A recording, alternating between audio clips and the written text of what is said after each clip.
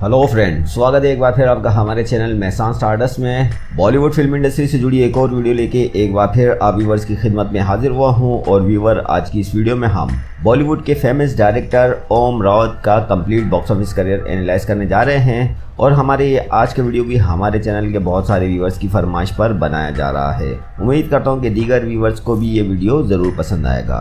Viewer Om Raut Bollywood film industry में biographical historical drama movies बनाने के लिए काफ़ी मशहूर है और उनकी डायरेक्शन में बनने वाली मूवी 2020 की तनजी द अनसंग वॉरियर जो कि इस वक्त तक बॉलीवुड फ़िल्म इंडस्ट्री में 2020 की कलेक्शन के हिसाब से नंबर वन मूवी साबित हुई है और हाल ही में उन्होंने अपनी डायरेक्शन में प्रभास और सैफ अली खान को लेकर आदि पुरुष नामी मूवी अनाउंस की है, जो कि 2021-2022 में आप व्यूवर्स को देखने को मिलेगी। तो व्यूवर आज की इस वीडियो में हम ओम रावत का complete box office career analyse करेंगे और साथ ही साथ उनके कंप्लीट करियर का सक्सेस रेशो भी आप व्यूवर्स के साथ शेयर करेंगे। उम्मीद करता हूँ कि हमारी आज की कोशिश भी आप व्यूवर्स को पसंद आएगी। अगर वीडियो पसंद आए तो इस वीडियो को लाइक ज़रूर कीजिएगा, क्योंकि आपके लाइक ही हमारी असल अर्निंग है। तो चलें फ्रेंड शुरू करते हैं हम अपना आज का ये वीडियो तो फ्रेंड ओम रावत की बॉलीवुड फ़िल्म इंडस्ट्री में as a producer debut movie का नाम है सिटी ऑफ़ गोल्ड और इस फ़िल्म को डायरेक्ट किया था महेश मंजरेकर ने। फ़िल्म की लीड कास्ट में अंकुश चौधरी, सिद्धार्थ यादव और सचिन खेड़कर शामिल थे और यह फ़िल्म 23 अप्रैल 2010 को रिलीज़ हुई थी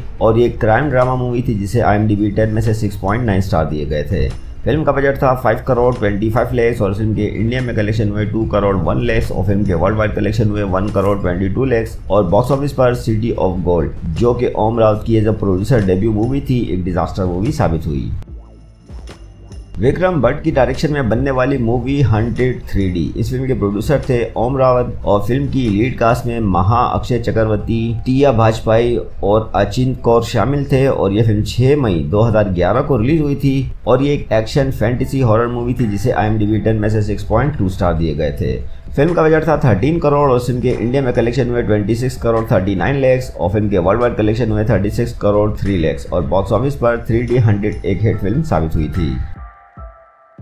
और व्यूअर ओम रावत की डायरेक्शन में बनने वाली डेब्यू मूवी थी लुकमनिया, एक युग पुरुष। ये मराठी लैंग्वेज की मूवी थी जिसकी लीड कास्ट में सुबूत भावे, चिन्मय मदलेकर और प्रिया बाबट शामिल थे और ये फ़िल्म 2 जनवरी 2015 को रिलीज़ हुई थी और ये एक हिस्ट्री ड्रामा मूवी थी जिसे आई एम डी में से 8.4 स्टार दिए गए थे। फ़िल्म का बजट था सेवन करोड़ और इसने इंडिया में थर्टीन करोड़ के कलेक्शन किए थे और as a director Om Rawat की डेब्यू मूवी लुकमनिया, एक युग पुरुष। ये बॉक्स ऑफ़िस पर एक हिट फ़िल्म साबित हुई थी और व्यूवर ओम रावत की डायरेक्शन में बनने वाली नेक्स्ट मूवी का नाम है Tanhaji the unsung warrior film की लीड कास्ट में अजय देवगन, काजोल, सैफ अली खान, नेहा शर्मा शर्ट केलकर शामिल थे और ये फ़िल्म 10 जनवरी 2020 को रिलीज़ हुई थी। और ये एक एक्शन बायोग्राफिकल ड्रामा मूवी थी, जिसे आई एम डी में से 7.7 स्टार दिए गए थे। फ़िल्म का बजट था 125 करोड़ और फ़िल्म के इंडिया में कलेक्शन हुए 279 करोड़ 55 लैक्स और फ़िल्म के वर्ल्ड वाइड कलेक्शन हुए 367 करोड़ 65 लैक्स और बॉक्स ऑफ़िस ऑफ़िस पर तनाजी द अनसंग वॉरियर, एक ऑल टाइम ब्लॉकबस्टर मूवी करार दी गई।